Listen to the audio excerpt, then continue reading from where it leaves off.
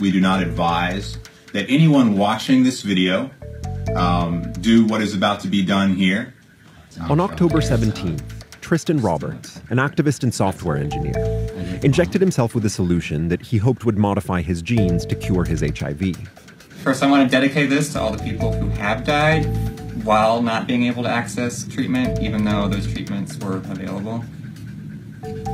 Tristan stopped taking conventional HIV meds two years ago because he hated the side effects. Instead, he tried an experimental gene therapy developed by a startup called Ascendance Biomedical. This therapy that you're injecting yourself with, what is it? How does it work? It's pretty much like a small circular piece of DNA that contains the instructions to create an antibody. They found this antibody being expressed by someone who wasn't taking their medicine. Who's they? NIH researchers. And this antibody, it binds to a part of the virus, and that prevents the virus from being able to latch onto my cells. It's giving my body the instructions on how to do it. So, Ascendance found that paper, took that research. How did they do that? The internet, right? It's like a lot of this information is becoming publicly available, and this is fueling the, the biohacking revolution. The first round of Tristan's gene therapy didn't work. But instead of going back on his FDA approved meds, Tristan flew to Jacksonville, Florida to try a modified dose.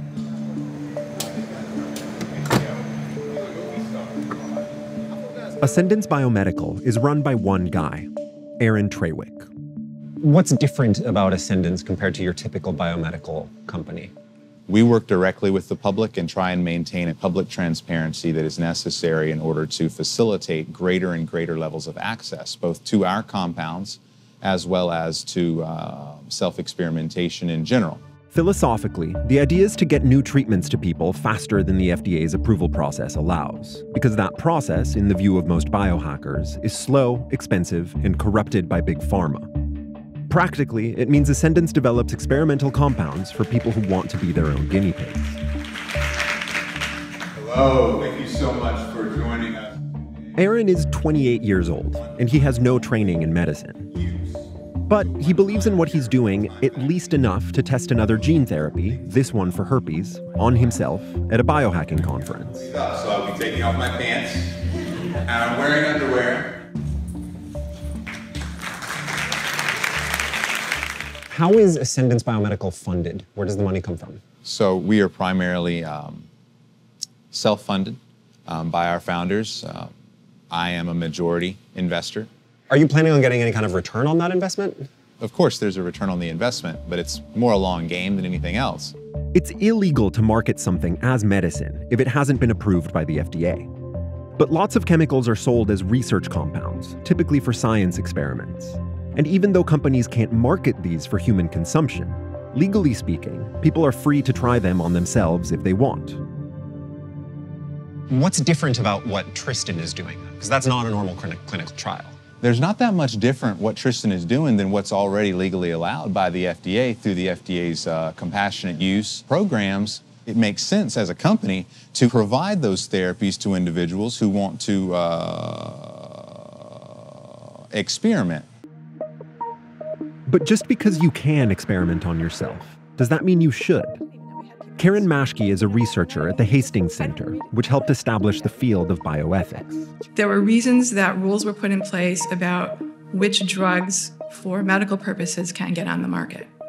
And those rules were put in place because people were harmed by people, many who were lay people, who were concocting potions in their kitchens. And um, even if they weren't harmed, they were spending money on, on products that didn't work. So even if Tristan Roberts mm-hmm injects himself with this gene therapy and it works, is it good or safe for him to then go promulgating that therapy to well, other people? Well, that's the question. Is the claim that it, that thing you're calling it, actually had the effect that you're seeing?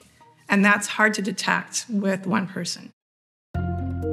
Nobody knows exactly how many biohacking companies there are, but they're out there, sometimes in nondescript strip malls like this one where Ascendance Biomedical rents space for one of their DIY labs.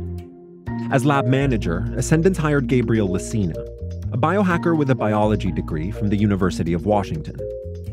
This is all like really basic lab stuff. It's like really straightforward stuff. We've got our mammalian cell incubator here, various devices for spinning things. This cool little guy is totally an airsoft rifle for shooting genetic material into the cells. Okay. This is minus 166. It's totally like a sci fi movie.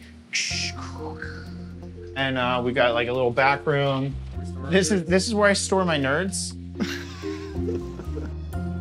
Biohacking is just kind of this thing that everybody's decided to use as a rebranding of I'm doing science and I'm not doing it in a university. But at the end of the day, you're just doing science. Gabe is a die-hard believer in open source. He thinks that the fruits of biohacking should be owned by no one and available to everyone for free. One of the sweetest things about open source is if you do good work, people give you money. If somebody does doesn't want to pay you, also should be okay. Telling somebody that they have to pay you, you're going to be sick unless you have money is kind of not cool. So we're going to do something cool and we're going to see what happens. That has led to friction between Gabe and Aaron, the E CEO. What's your opinion of Aaron and of Ascendance Biomedical? Um, the boat floats. I'm just not 100% sure about the captain or the crew.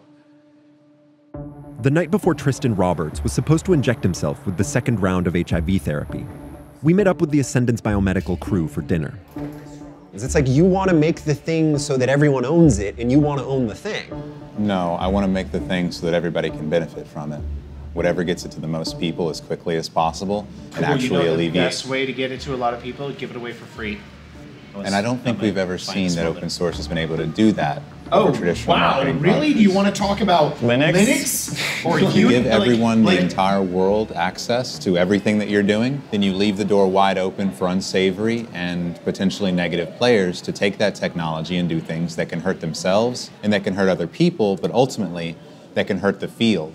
Okay, let's say that you let's say that your treatment works, right, for you. Mm-hmm.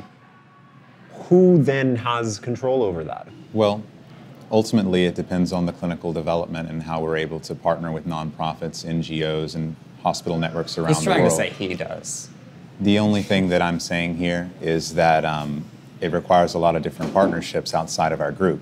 And so, are you going to be able to distribute it? Are you going to be the one who negotiates with the governments and the embassies and make I've sure done that they can before. actually go into the I- I've countries? But you Like, are you're- assuming executive control. I've not heard any offers to get involved in those processes by anyone else. It's just fun story. Um, I'll not just what not do lab work. Maybe. We're working through it. By the next morning, things between them had gotten even worse. We're here at the lab where the therapy was supposed to be delivered today. It has not been delivered. We really just don't know what's going to happen. As it turned out, the HIV treatment wasn't ready for testing. And the fight over who should own Ascendance Biomedical's products boiled over. We caught up with Aaron later that day. So, um, what just happened? Gabriel, who served as our lab manager, and Justin, who served as the laboratory technician, have been effectively um, kicked out of the lab space, and the locks have been changed. A big part of the mission of Ascendance Biomedical is showing that this kind of research science can happen outside of the conventional institutional structures. I have to be honest, what we've seen so far this week doesn't inspire a ton of confidence. Well, the only way that I ever want the world to see us is as a never ending fight against these diseases. That night, the CEO carried his lab crew's personal equipment to the curb. And Tristan Roberts was forced to reconsider the merits of Big Pharma. So, what do you think this says more broadly about biohacking?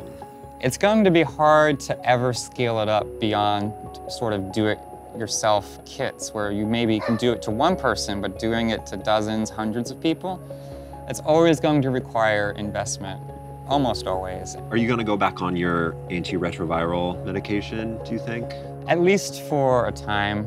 I've been off of it for two years, and it's probably for the best to suppress it for a while.